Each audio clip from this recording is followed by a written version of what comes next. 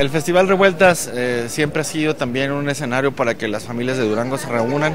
Creo que lo importante será que eh, las familias y la, gente de Durango pueda asistir sin ningún contratiempo a todos los eventos. En eso estamos trabajando.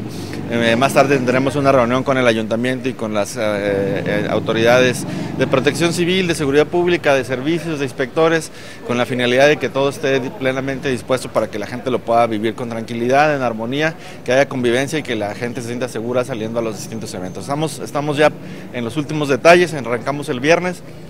La invitación hecha para que nos acompañen en el Corredor Constitución, pero también el sábado en Alex Inte, pero también el domingo al revolcadero masivo y, en fin, a, más a todos y cada uno de los más de 100 eventos que tenemos preparados para la gente. La venta de espacios en los conciertos que están habilitados. Sí, hay una, como lo hemos comentado, la, todos los eventos son gratuitos, salvo los dos masivos tienen un espacio bien pequeño para gente que tiene la intención de, no hacer tanta fila, de, tener un lugar seguro, de llegar el momento en que ellos lo dispongan.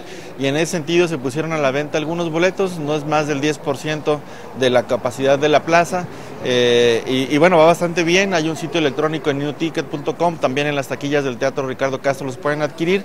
Y, bueno, creemos que para ese día, ahorita ya van dos terceras partes, yo creo que de los boletos vendidos, a una semana de, de Alex Intec, bueno, a cinco días, a una semana y media de, las Angélicas, que son los que están a la venta.